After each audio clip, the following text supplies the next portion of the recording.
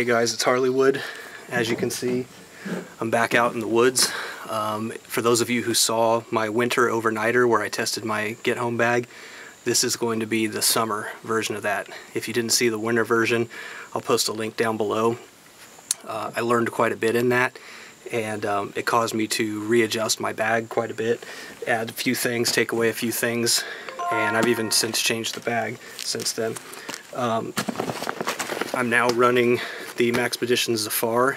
In the previous video I had the Falcon 2 and um, so I'm going to put this one to the test now. It's summer, it is uh, almost the end of May and it's 90 degrees out here today. It's very hot. Um, this is our hunting property as you can see right here in the picture. There is a deer stand back there. Um, this is this is the side of the, the property where one of my buddies hunts but um, I'm gonna go back here, find some place to put up the hammock, and get tent, uh, get camp set up. Uh, I do have my AR with me. I'm gonna take that, try to get some something for dinner. Uh, I might even try to do a little coyote hunting tonight. I, I brought a, uh, a coyote call with me. Let's see, what else? I think that's about it. Um, yeah, here we go again, and it's hot.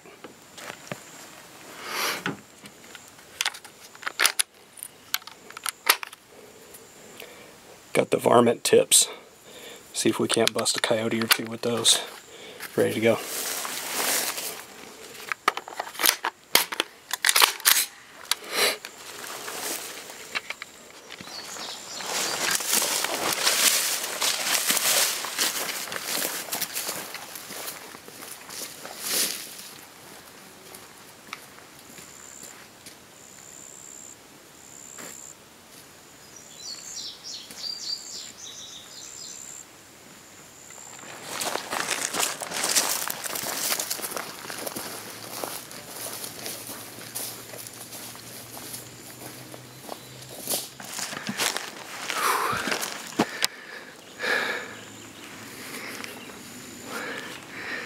It is hot as shit out here.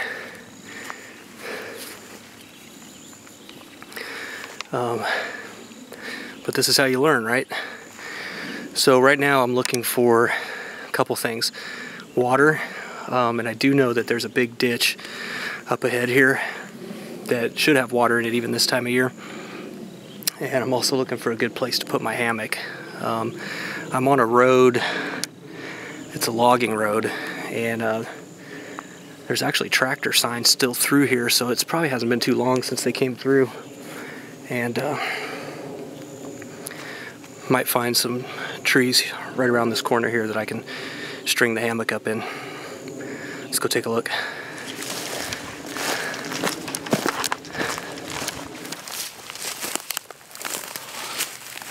Alright guys, I think I found the spot where I'm going to stay for tonight. Um, I'm going to string up my hammock between this tree that one over there. Uh, clear a little bit of this brush out. Nothing too major, it's mostly just this kind of ivy crap that's all over the ground. And uh, it is really hot. I gotta go find some water. I do have a canteen, I have 24 ounces of water. But after by the time I get this uh, hammock put up and the rain fly, I'm probably gonna drink all that and have to go find some more. And I'm sweating everywhere. So uh, let me get this hammock put up.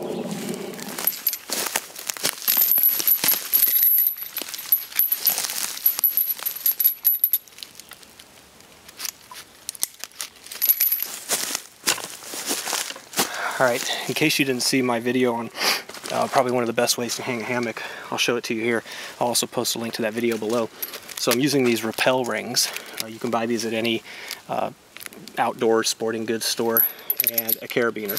So I just took the strap, put the carabiner through it, and then in order to hook this, the line through it, you go through both of the rings, pull some slack, split the rings, come back through the backside the same way you did, but only through one of them. And so it makes kind of this shape like that. Let's show it to you again here. You see it went through once, come back, and just take it through one of them a single time. You can pull all that slack this way, but if you try to pull back the other way, it cinches up.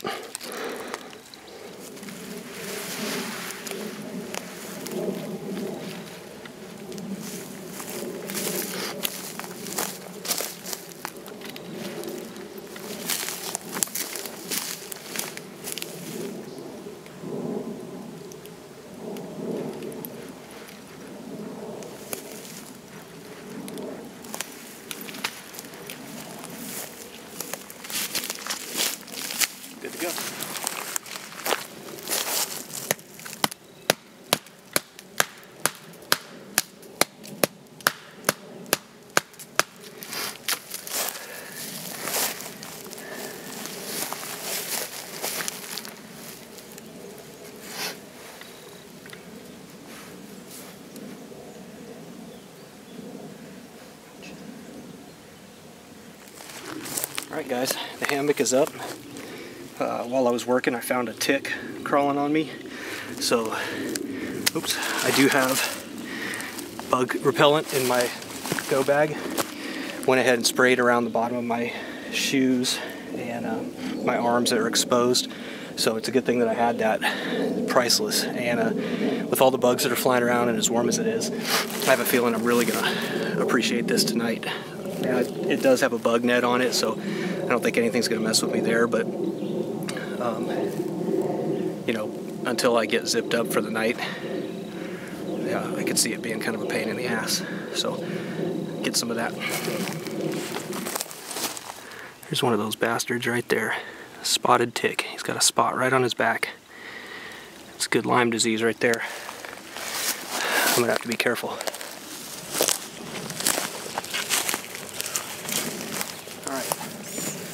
So I'm not gonna show you the part where I didn't have the rappel rings hooked up right and I fell on my ass.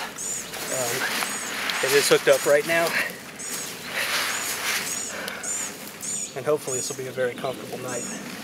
I am not going to plan to have a fire.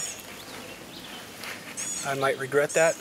It's uh, it's only going to be 65 degrees tonight, so I don't think I'm going to be too cold. Um, like I said though, this is a logging road and there is deadfall everywhere. So even in the middle of the night, if I have to clear a bunch of this pine straw out of the way and, and get a little fire going here, it's not a big deal. Um, the ticks are everywhere. I kind of forgot about that part of year down here. So I've already picked three off of me. And might have to have the wife pick a few off when I get home. Lucky her.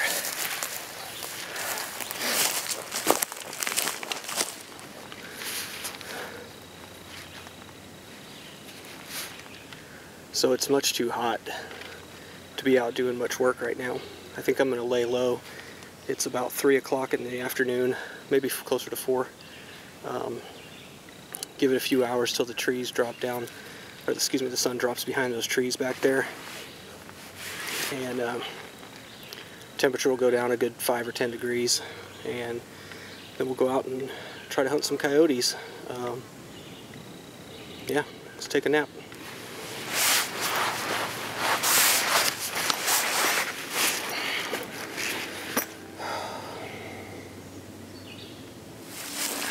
Alright guys, it's about two hours after the last video, or the last segment, and um, didn't really get a nap much, but I laid here, let some of the heat dissipate.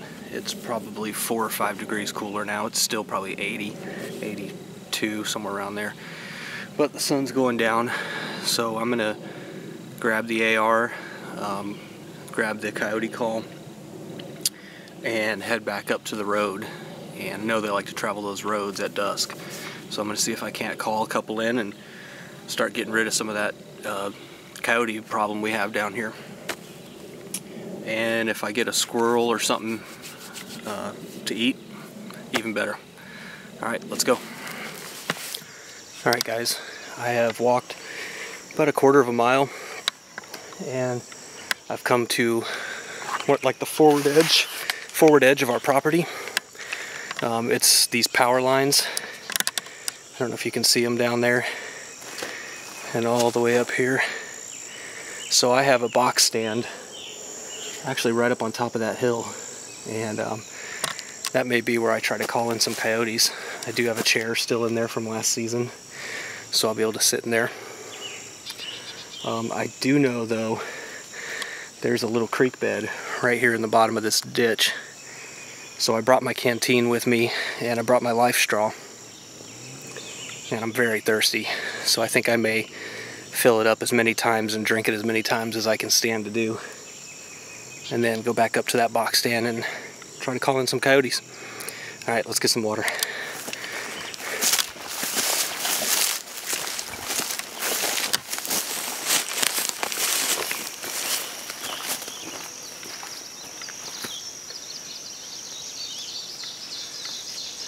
It's moving a little bit, but nothing I'd want to drink unfiltered. Um, there's also deer sign all through here, all the way back up the hill. So who knows? There's probably piss in here and there, I see bugs flying all over the top of the water. So I'll fill it up, but I'm gonna drink from the life straw.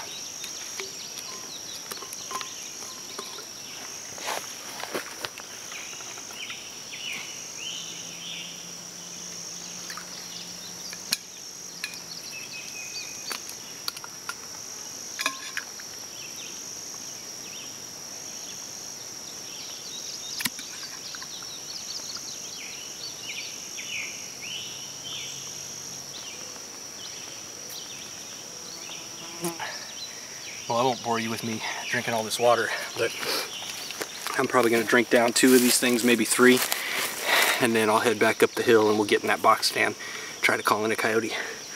Let me fill up though first. So I'm about halfway up to the the shooting house. I don't know if you can see it. It's up there on top of the hill. But I wanted to stop because I actually found something I didn't know was here before. It's a mineral lick for these deer. And if you look, there's deer sign all through there. They're coming all through here. It's so overgrown in here though. I don't know if I, I mean, I guess I could clean one of these trees off, maybe that pine right there and scale up in it, but I didn't know there was this big of a of a hot spot for them here. I mean, look at that, look at all the spots that they've been chewing on this. You ever heard the term mudsucker? That's where it comes from. There's some big boys in here too. Cool. Let's uh let's keep heading up the hill, see if you can see it here.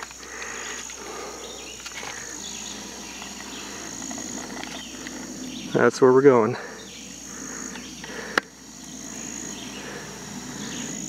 Long ways.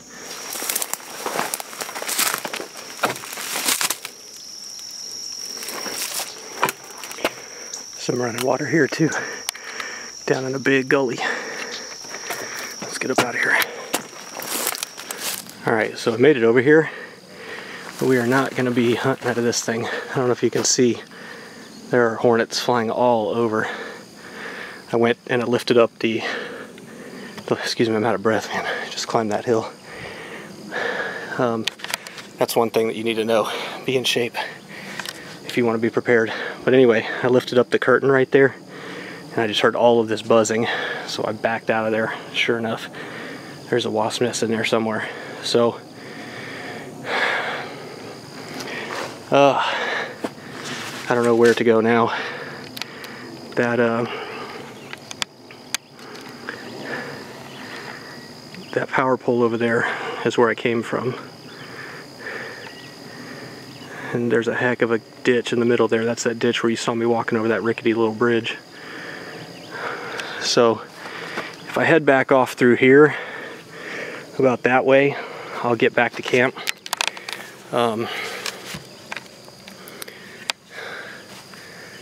otherwise, I guess I'm done with the coyote hunting idea. Um, the only thing I can think of is maybe pull that chair out of there and sit over here somewhere. Let's try to do that. I'll be right back. All right, that's not gonna work. There's a hornet's nest uh, right under the bottom of the front lip of the chair. So, I guess that's it for the coyote hunting. I did just hear something big crash off through the woods though. I bet there's a good deer in there. He probably heard me fumbling around with that thing and jumping around when the hornets came out. So uh, I guess that's it for tonight, guys. I am going to head back to camp and uh, just snuggle down. And we'll see you uh, back at camp.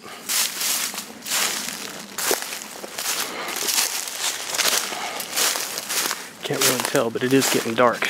This camera is adapted to show the uh, the ambient light that is available.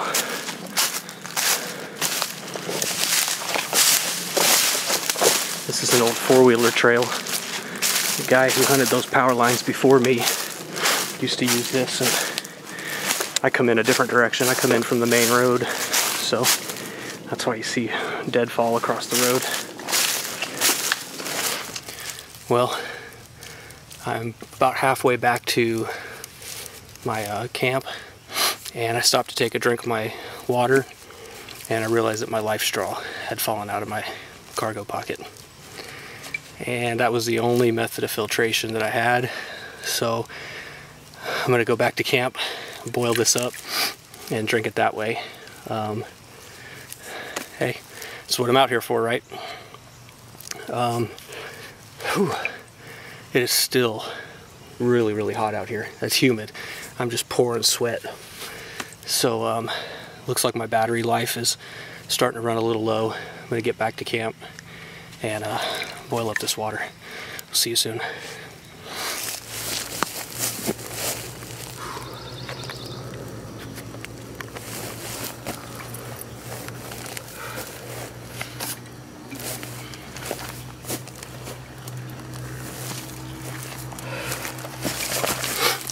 All right, guys, I'm back to camp.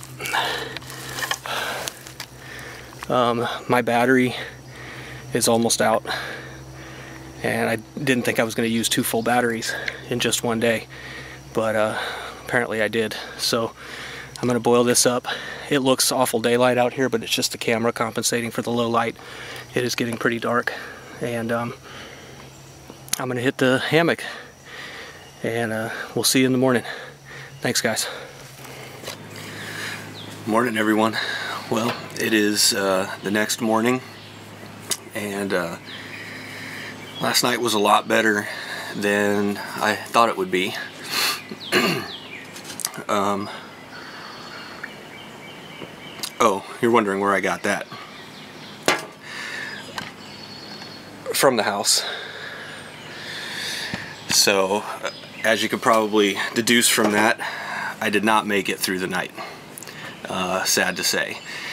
After losing the water filter, I started to boil that water and um, started kept picking ticks off of myself. I was pouring sweat and I learned a couple valuable lessons. One, don't put my freaking life straw in my cargo pocket. And um, the second thing was, let's readjust this camera here. second thing was that uh, I set my camp up too far away from a water source. So that was a big mistake on my part.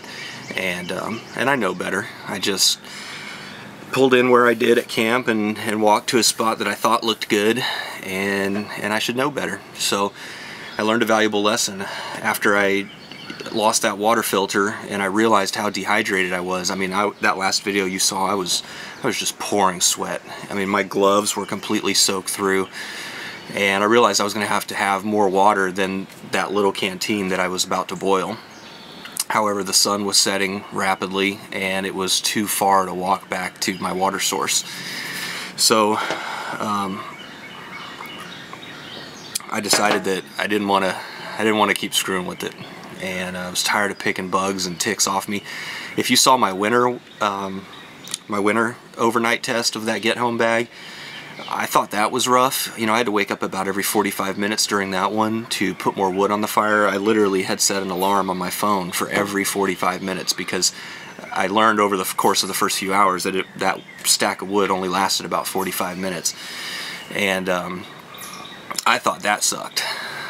Nothing sucked like being out in the summer. So if the uh, if the SHTF happens, uh, you know, we'll, we will not have a choice when and if it happens, but um, summer's going to suck.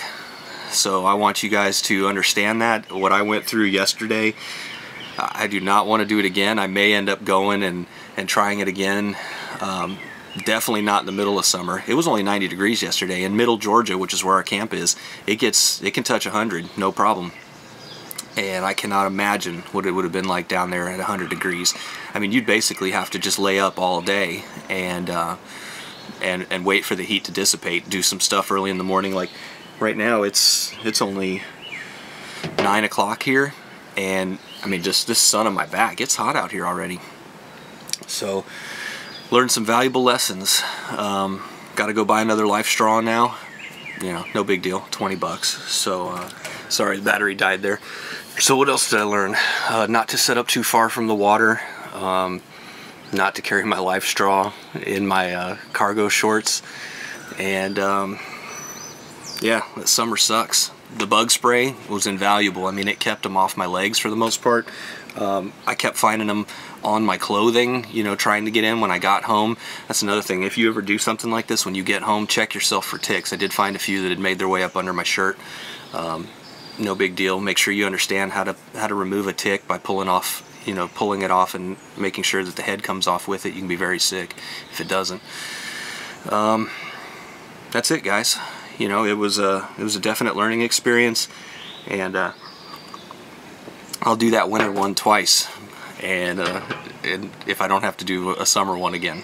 That was rough.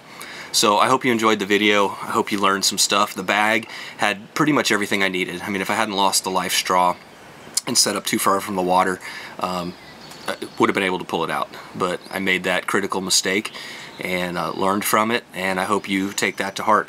So if you haven't seen what I have in my bag, I'll put a link below. Um, I'll probably put a link right here on, on the screen for those of you watching on YouTube. And um, make sure your bag's put together, but don't just put a bag together to stick it in your truck. Because if you watch my first video, I learned a lot about what I did and did not have in that bag. And the stuff that I added as a result of last my last outing really helped me in this one. And um, unfortunately, I just made some critical uh, errors in judgment and um, and it cost me the mission, so to speak. You watch these, you know, dual survival and all these shows on on TV, and um, and I kind of sit there on my couch and it's you know 68 degrees in my front room and and I laugh at these guys. and I'm like, stop being such a puss. You know, I can't believe you can't walk a mile without water. Man, I tell you what, yesterday it was everything I could do not to drink that entire 24 ounces right when I got done setting up my my hammock.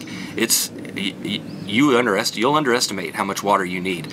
Um, when you saw me drinking down at the creek, I, I didn't show you all of it. I cut a lot of it out because I probably drank three or four of those canteen fulls and um, filled it up again. And you, you saw the rest when I got back to camp. I wish I had about another three or four with me because it was a long hike back to camp. And uh, so anyway, that's it guys. I won't keep boring you with the rest of the details. Hope you learned something. If you like what you saw, hit the subscribe button below. I'm going to do more of these. They suck, but hopefully you learned something. I definitely learned something, and uh, we'll just keep rolling. Thanks for watching, guys.